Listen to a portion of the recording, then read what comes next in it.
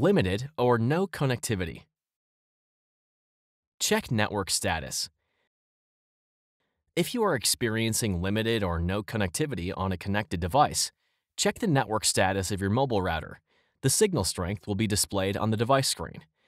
Your signal strength will also be displayed on the AT&T Wi-Fi Manager website. Check blocked devices. Check to see if a device is blocked. From the AT&T Wi-Fi Manager website, click Settings. Then click Security. Click Access Controls. Click the Filter Type drop-down menu, then select Blacklist. Blocked devices will be displayed. To unblock a device, click the checkbox next to the desired device, then click Delete. If you are still having trouble with limited or no connectivity issues, try power cycling the device.